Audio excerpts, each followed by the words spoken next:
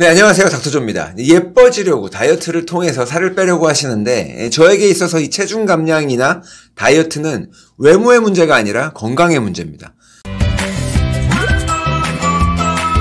건강하니까 아름다워 보일 뿐이에요. 남성들의 역삼각형 몸매나 여성의 S라인이 이 건강하다고 하는 시각적인 신호를 주는 거거든요. 그래서 무의식 중에 그거를 보고 누구나 다 아름답다고 느끼는 겁니다. 내가 체중 감량을 원한다면 결국은 살을 빼야 되거든요. 지방 연소가 필수라는 뜻이죠. 근데 이 지방을 연소한다는 거는 에너지 대사가 유연해지는 것을 의미합니다. 유연한 에너지 대사. 이게 굉장히 중요한 컨셉이에요.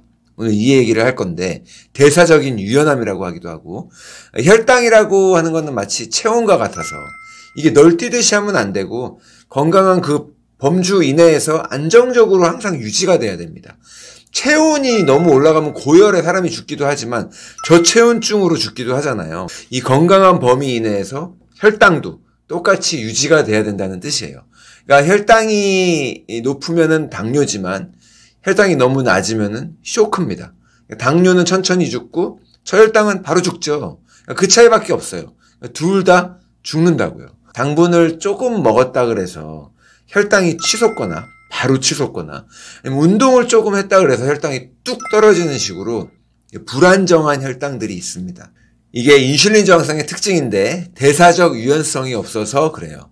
그러니까 혈당이 안정적인 사람은 식욕이 폭발하지 않습니다. 혈당이 막 너를 뛰는 과정에서 혈당이 푹 꺼질 때가 있는데 그때 식욕이 폭발하는 거기 때문에 혈당이 안정적인 사람은 애시당초 그렇게 어, 혈당이 푹 꺼질 일도 없고 그러니까 식욕이 폭발할 일도 없는 거예요. 그러니까 당연히 배도 덜 고픕니다. 그렐린이나 렙틴 호르몬 같이 식욕에 영향을 미치는 호르몬들도 안정적으로 유지가 되고 있기 때문에 허기짐을 덜 느끼게 되는 거고 또 장기간 아무것도 먹지 않고 단식을 해도 아무런 문제가 없습니다.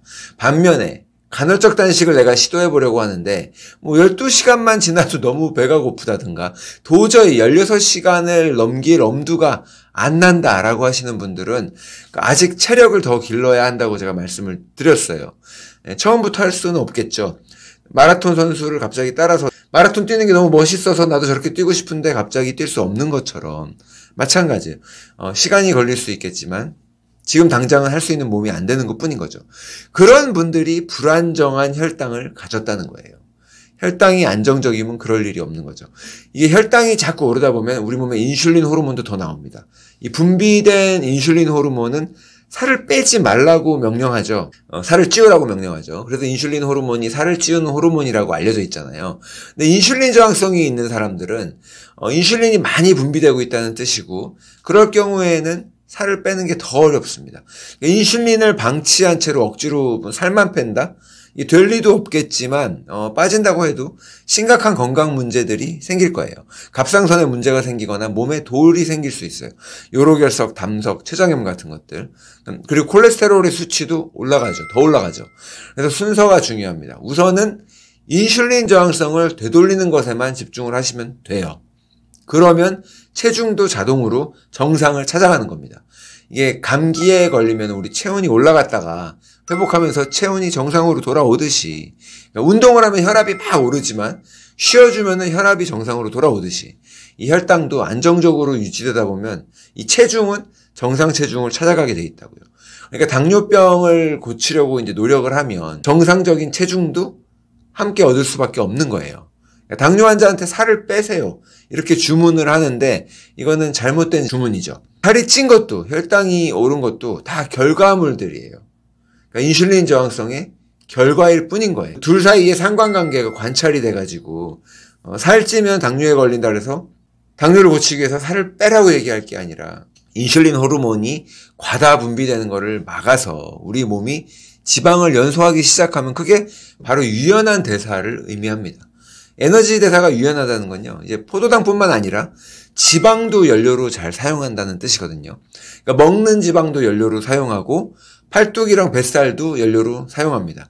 필요랑 상황에 따라서 포도당을 사용했다, 지방도 사용했다, 왔다 갔다 바꿀 수 있는 거예요. 그러니까 하이브리드 차에 비교하기도 하죠. 예. 그런 에너지 대사가 유연하지 못하고 포도당에만 의존하는 경우에는 어, 뭐, 두 시간마다 배가 고프고 입이 심심하다 그래서 과자가 됐든 견과류가 됐든 커피가 됐든 뭔가를 잡고 집어먹게 돼 있는 거거든요. 그래서 이 혈당이 불안정하게 너를 뛰기 때문에 저혈당 상태가 자주 발생하기도 하고 그럴 때마다 식욕은 폭주하는 거예요.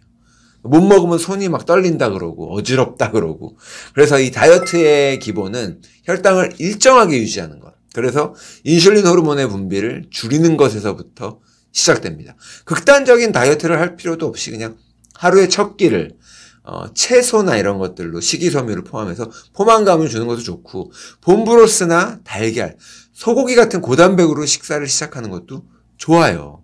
당 지수가 높은 과일의 경우는 피하는 게 좋겠죠. 특히 갈아 마시는 과일 주스, 그걸 매일 마신다? 안 됩니다. 인슐린 저항성을 되돌리고 살을 빼는데 방해가 된다고요. 아침 식사로 오렌지 주스를 마시면 이게 무늬만 오렌지 주스지 그거 다 설탕물이거든요. 그러니까 건강한 사람은 드셔도 괜찮겠죠. 근데 인슐린 저항성을 되돌려야 되는 사람들, 살을 빼야 되는 사람들이거나 당뇨를 고쳐야 되는 사람들, 그 사람들 입장에서는 차원이 다른 도전이 되는 거예요. 너무 힘들어지는 거예요. 그러니까 건강한 사람들이 그렇게 먹는 걸 보고 괜찮다고 따라할 일은 아니라는 거죠. 이 건강한 사람은 간헐적 단식이 아니라 장기간 단식을 해도 멀쩡하지만 그대로 우리가 그걸 보고 못 따라하잖아요. 하고 싶어도. 마찬가지입니다. 예, 시리얼이나 베이글 그리고 이 식빵처럼 곡물 탄수화물이나 옥수수 밀가루, 가공식품 이런 것들도 피해야 돼요. 특히 시리얼은 거기 과당이 많이 들어있는데 혈관을 망가뜨립니다. 동맥경화, 심장마비, 뇌졸중의 주범이에요. 시리얼을 우유랑 같이 먹죠. 우유도 젊은 애들이 자가 면역 질환이나 어, 그 염증이 없는 사람들한테는 괜찮겠지만 그런 문제가 있는 사람들은 자가면역 질환 증상을 더 심하게 만들고 염증을 더 키운다고요. 그거를 시리얼과 같이 고탄수화물과 거기에 과당과 함께 우유를 같이 먹는다. 네, 좋은 식단이 아닌 거죠. 아침부터 그런 음식들을 먹으면서 건강하기를 기대할 수는 없습니다. 살을 빼려면 결국은 소식을 해서 지방의 연소가 일어나야 되는데 이 소식을 실천하기 좋은 방법이 간헐적 단식이기 때문에 음, 처음 시작해 보시는 분들, 시도하시는 분들은 카페에서 여러분들과 함께 해보자고 간헐적 단식 챌린지를 했었죠. 아니 지금까지 이런 말한 내용들 다 알지, 뻔히 안다고 하면서도 못하는 분들이 근데 계시잖아요. 식욕 조절이 어려운 분들, 예, 그런 분들은 계피, 레몬, 그리고 apple cider vinegar, 식초죠. 이런 것들이 식욕을 조절하는 데 도움이 되기 때문에 식사 전에 먹어주셔도 되고 공복에 드셔도 됩니다. 그리고 시금치나 브로콜리, 당근처럼 미네랄이 풍부하게 들어있는 항산화 채소들을 드시면 도움이 될 거예요.